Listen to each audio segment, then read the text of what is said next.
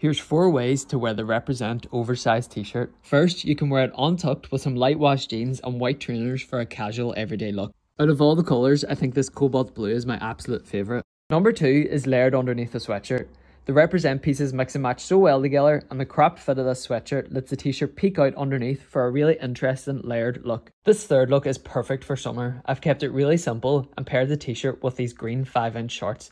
The oversized fit against the shorts gives off a really nice silhouette, so all that's left to do is add your favourite sunglasses. For the final look, I've gone for all black, letting the chrome branding on the chest stand out.